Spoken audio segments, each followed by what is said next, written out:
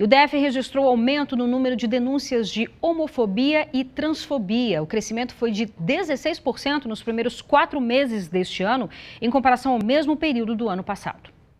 Theo é um homem trans. Ele sabe bem o significado da palavra preconceito. Falar sobre preconceito e discriminação é algo que me assombra, me entristece, mas que infelizmente é algo muito fácil de falar é algo que faz parte da minha rotina e que eu sofro diariamente. Vera é mãe de um homossexual. Ela diz que o medo do filho sofrer preconceito e ser agredido é constante. Eu, como mãe do LGBT, fico muito preocupada com o crescimento da violência no DF. Às vezes ele sai e fico agoniada, pois não tenho certeza se meu filho vai voltar, pois o crescimento da violência está nos assustando.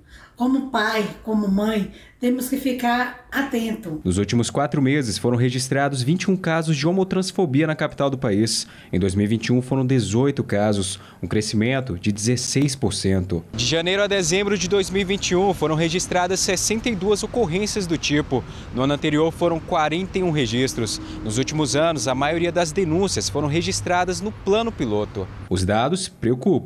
O presidente da organização Jovens Unidos por Direitos Iguais e Humanos afirma que esse tipo de preconceito teria que ser combatido de forma mais efetiva. Nós precisamos refletir e admitir que somos uma sociedade enraizadamente homofóbica, mas que não, não podemos praticar e nem tolerar mais esse tipo de comportamento. Precisamos dizer não para o preconceito, dizer não para a homofobia e denunciar para que nós possamos ter o registro desse tipo de crime, desse tipo de violência, para que sim o Estado faça por onde pessoas LGBTs não sofram mais. A legislação que define homofobia como crime é recente. O Supremo Tribunal Federal decidiu em junho de 2019 equiparar ao crime de racismo. Desde então, os casos passaram a ser computados desta forma.